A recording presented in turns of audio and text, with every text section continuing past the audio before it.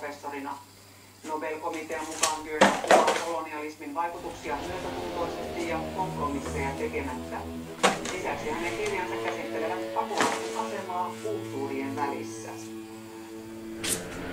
Koronaepidemia on pahentunut Suomessa. Viime viikolla 100 ihmistä enemmän kuin edellisellä viikolla. Sairastuneet ovat pääasiassa rokottamattomia tai yhden rokoteannoksen saaneita. Myös sairaalahoidon tarve on kasvanut ja tehohoidossa on nyt yli 30 koronapotilasta. THLn johtaja Mika Salminen pitää rajoituksista luopumisen tahtia liian nopealla. sitä, mitä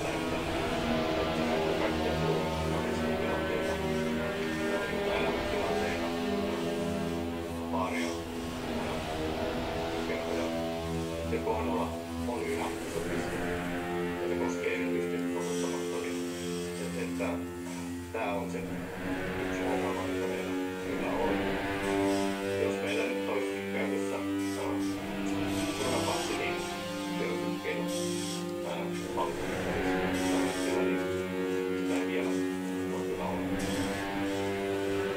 Valtiontalouden tarkastusviraston entinen pääjohtaja Tytti Yli-Viikari saa syytteen törkeästä virka-aseman väärinkäyttämisestä.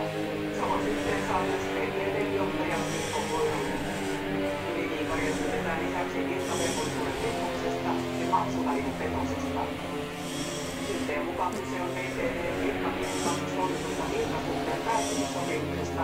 sekä siitä, että Yli-Viikari on käyttänyt kulumatkoilta kertyneitä lentopisteitä yksityisiin kuluihin sekä yliviikari että koiranen kiistävät syyllistyneensä rikokseen. Ylen tuoreen puolustamatosmittauksen mukaan kärkipuolueiden välinen kannatusero on kaventunut, mutta järjestys pysyy samana. Suosituimpana puolueena jatkaa opposition puolue kokoomus.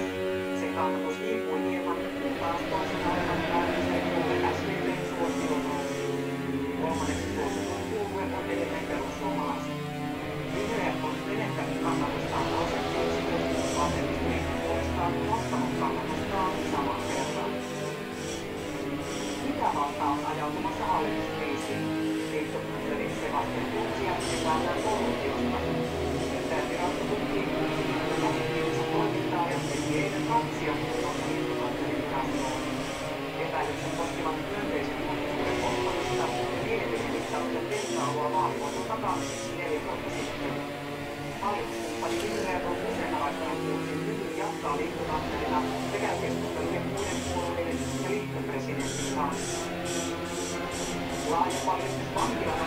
Venäjällä on johtanut tutkintaan ja erottamisiin.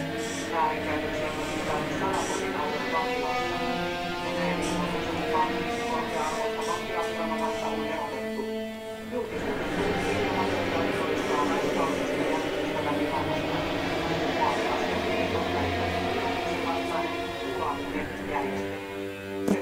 Mukaan satoihin vankeihin kohdistuvan väkivallan takana on Venäjän tiedotuspalvelun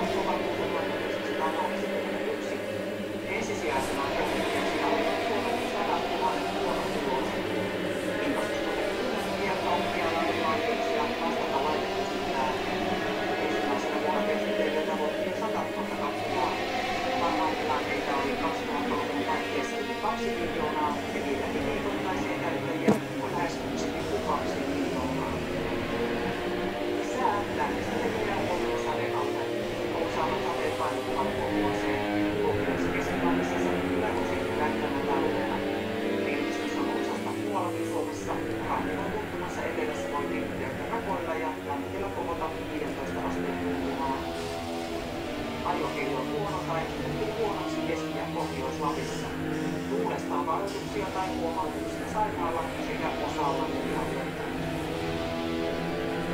Yhdellä kirjeenvaihtajamme raportti Saksasta, jossa viranomaiset ovat Puolan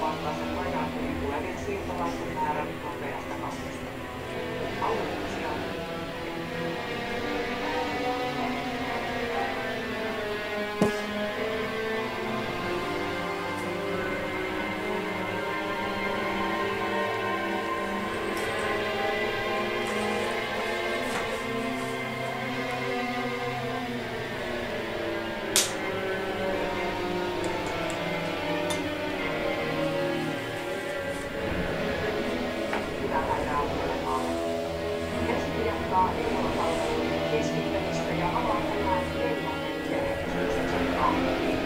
Lapissa on sata sotilaan ammattilaista vastaamassa eteläkeskiläisten tarpeisiin. Merkitykset kuvataan olevan enemmän kuin neuvola vastaavat suuryksikökokoisten. Lähinnä